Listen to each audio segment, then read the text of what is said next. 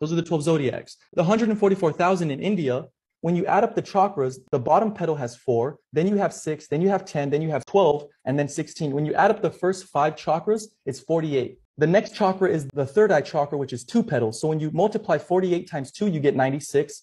96 plus 48 again is 144. And then when you multiply it times the crown chakra, the thousand petal lotus, you get 144,000. So wow, bro. 144,000 go to heaven just means you bring up your energy from the root to the head, which is heaven. Hold on. Wait, wait, wait a goddamn minute now. Hold on, Becky. Come on. Wait a minute. Drop this young man some bombs.